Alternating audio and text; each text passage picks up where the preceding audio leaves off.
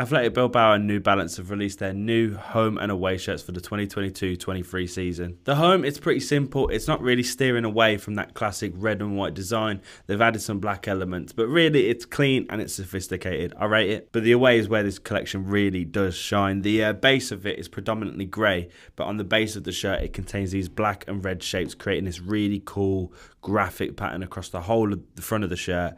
It looks really cool. To me, it reminds me a bit of graffiti, graffiti but but cool graffiti. also, these shapes create a lion graphic on the front of the shirt, but this is to resemble the fierce spirit of Athletic Club and the powerful roar of the Basque region. Now, that's a little bit cringy. It's a little bit tacky, but it doesn't matter because that kit is still really cool. And with this, we're seeing another great New Balance kit. They're really coming in strong for 22 23.